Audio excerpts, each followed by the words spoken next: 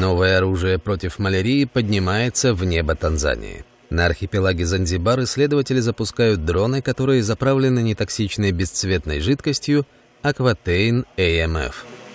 Ее разбрызгивают на рисовые поля, где размножаются москиты. Вещество создает тонкую пленку на поверхности воды, а она не дает куколкам и личинкам дышать на поверхности. В результате они просто тонут. Ученые говорят, что это уникальный метод противодействия малярии на самых ранних стадиях ее распространения. Вот где начинаются проблемы. Это места размножения москитов. Как только мы начинаем контролировать этих насекомых здесь, они меньше летят в дома людей, меньше кусают, и малярия распространяется медленнее.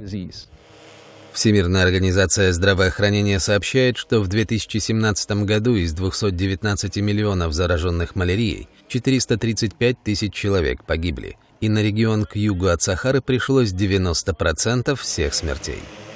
Ученые надеются распространить новый метод по всему континенту. Они говорят, что дроны эффективны и экономят много средств. Особенно это касается огромных заболоченных угодий. Вы видите, каковы эти поля. По ним очень сложно ходить и разбрызгивать химикаты. Нужно, чтобы что-то могло разбрызгивать их над поверхностью воды.